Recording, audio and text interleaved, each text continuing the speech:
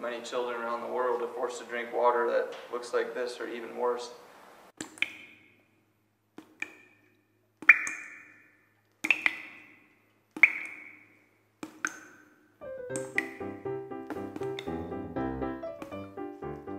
There's all that particulate in there.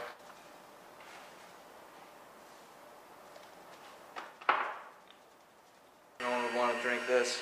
Not at all. Definitely not. it's pretty gross. Could be any number of parasites, bacteria, viruses in the water that they drink and, you know, they get parasites living in their stomachs. Inside the flow cell, there's an ultraviolet light bulb for disinfecting the water.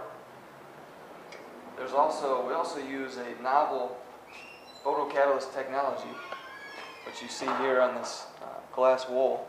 We have immobilized titanium oxide, which actually, when it's illuminated with ultraviolet light, it releases hydroxyl radicals into the water, which also kill bacteria to aid in disinfection.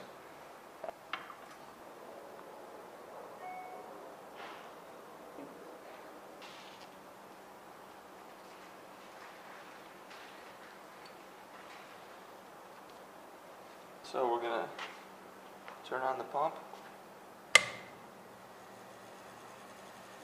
Alright, so we're going to pump the source water through a fabric filter. This is a reusable fabric filter.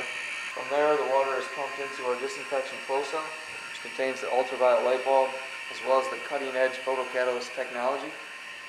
Uh, although we're running at a slow flow rate right now, uh, the system is capable of pumping 3,000 gallons clean drinking water every single day.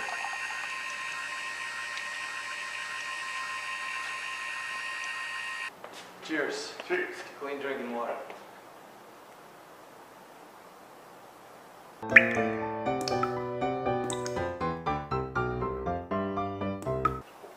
Ah, delicious.